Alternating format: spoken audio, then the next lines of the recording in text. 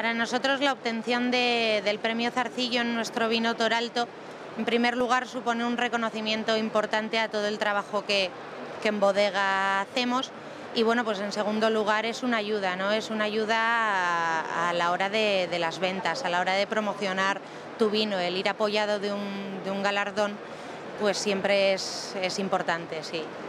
Lo que hace singular este vino, bueno, es eh, quizás el que sean cepas más antiguas, que, que estén a una altitud eh, diferente a la que tenemos en, Urueña, está a unos 800 metros, y, luego pues ese carácter que tiene el, clon, la, variedad tinta de, tinta de toro tan característica y tan, tan rica que tenemos en, esta zona y que debemos promover su utilización. En Urueña lo que tenemos es un, es un microclima eh, que, nos permite practicar una viticultura de precisión, una viticultura integrada y, así tocar lo menos posible las cepas y nos permite, sin, sin apenas molestarlas, digamos, eh, que estén en perfecto estado sanitario y que al final es la base de todo buen vino, ¿no? Una buena uva.